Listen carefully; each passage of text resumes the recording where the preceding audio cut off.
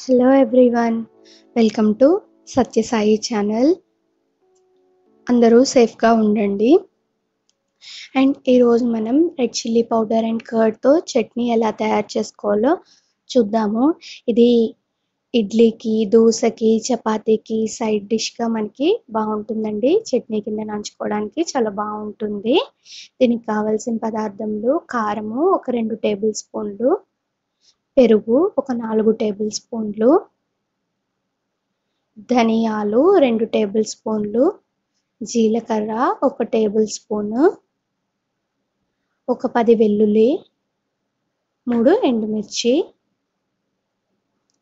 రుచికి సరిపడా సాల్ట్. ముందుగా చిన్న పొత్రంలో వెల్లుల్లి ధనియాలు జీలకర్ర ఎండుమిర్చి వేసుకుని దంచుకోండి. మీరు ఇలా దంచుకోలేకపోతే కనుక మిక్సీ జార్లో అయినా వేసుకుని మీరు కచ్చాపచ్చాగా గ్రైండ్ చేసుకోండి. బాగా మెత్తగా గ్రైండ్ చేసుకోకండి. కచ్చాపచ్చగా గ్రైండ్ చేసుకోండి. ఇలాగ అవుతుంది. అయిన తర్వాత రెండు టేబుల్ స్పూన్ల కారంలోకి ఒక వన్ ఫోర్త్ కప్ వాటర్ వేసుకొని ఉండలు లేకుండా బాగా కలుపుకోండి. ఉండలు కట్టకుండా బాగా కలుపుకోండి. తర్వాత స్టవ్ వెలిగించుకొని చూడండి ఇలాగా ఉండలు లేకుండా కలుపుకోండి. తర్వాత స్టవ్ వెలిగించుకుని బాండీ పెట్టుకోండి. బాండీ పెట్టుకుని ఆయిల్ కొంచెం ఎక్కువే వేసుకోండి. మనకి పచ్చడి నిల్వ ఉంటుందన్నమాట. ఒక రెండు టేబుల్ స్పూన్లు ఆయిల్ వేసుకోండి. వేడయిన తర్వాత ధనియాలు జీలకర్ర వెల్లుల్లి మిశ్రమం వేసుకొని మీడియం ఫ్లేమ్లో పెట్టుకొని ఒక పది నిమిషాలు వేయించుకోండి. తర్వాత నీళ్ళు పోసి కారం కలుపుకున్నాం కదా ఆ మిశ్రమాన్ని వేసుకోండి. ఇది కూడా మీడియం ఫ్లేమ్లో పెట్టుకుని వేసుకోండి.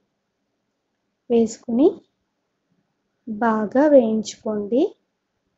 ఇది మనకి బాయిల్ అయిన తర్వాత చూడండి ఇలా బుడగలు వచ్చి ఆయిల్ రిలీజ్ అయింది కదా? ఇలా ఆయిల్ అయిన తర్వాత ఇందులో నాలుగు టేబుల్ స్పూన్ల కర్డ్ వేసుకోండి. కర్డ్ వేసుకొని ఒక ఫైవ్ మినిట్స్ పాటు కలుపుకోండి. కలుపుకున్న తర్వాత ఇందులో రుచికి సరిపడా సాల్ట్ వేసుకోండి. వేసుకొని ఒక ఫైవ్ మినిట్స్ పాటు బాగా కలుపుకోండి.